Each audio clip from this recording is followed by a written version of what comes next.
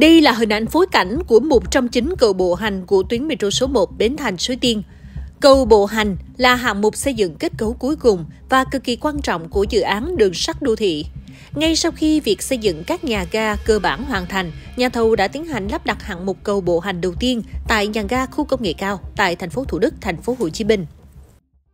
Cầu bộ hành thì nó ngoài cái dịch vụ đó là nó dùng để kết nối hành khách từ sông hành trái, sông hành phải vào nhà ga nó cũng còn có một chức năng khác đó là cái uh, hướng thoát hiểm khi có trường hợp uh, xảy ra nên là đây là một cái hạng mục quan trọng hết sức quan trọng của dự án Cầu bộ hành nhà ga khu công nghệ cao có tổng chiều dài khoảng 80 m, được chia làm 3 nhịp cầu, lần lượt là 32 m, 26 m, 22 m. Mỗi nhịp gồm hai phiến dầm, có tải trọng từ 46 tấn đến 75 tấn. Tối 4 tháng 11 năm 2023, nhà thầu đã thực hiện lắp đặt nhịp thứ hai của cầu bộ hành nhà ga khu công nghệ cao. Đây là nhịp cầu dài nhất trong 3 nhịp cầu nối từ đường sông Hành qua nhà ga. Tất cả phiến dầm là bê tông dự ứng lực căng trước đúc tại bể đúc gần khu vực depot Long Bình của dự án. Sau khi hoàn thành, công tác bảo dưỡng và nghiệm thu sẽ được vận chuyển tới công trường bằng xe vận chuyển dầm chuyên dụng.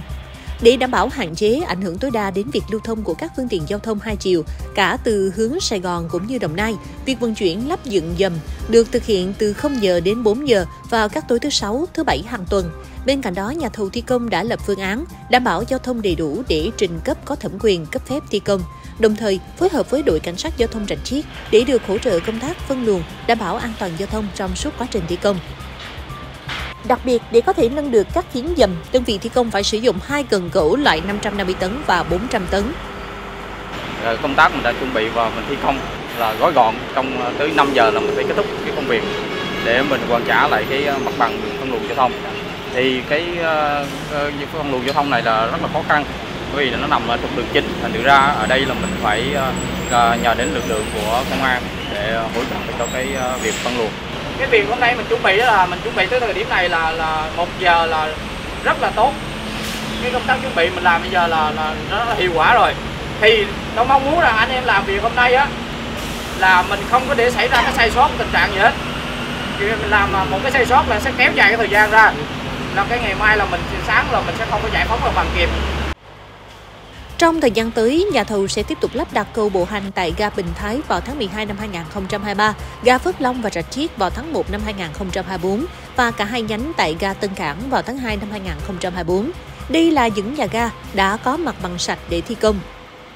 À, đối với riêng cái vị trí ga công nghệ cao này thì hôm nay là chúng ta lắp xong uh, những cái tuyến dòng và kế hoạch tiếp theo là ban sẽ lắp cái kết cấu mái, kết cấu tôn, uh, lắp đặt đèn, à, uh, biển báo, biển hiệu và hy vọng là đến cuối năm nay chúng ta sẽ thấy một cái hình hài cây cầu rất là đẹp băng ngang xa lộ Hà Nội tạo thuận lợi cho người dân khi mà tiếp cận cái hệ thống đường sắt đô thị.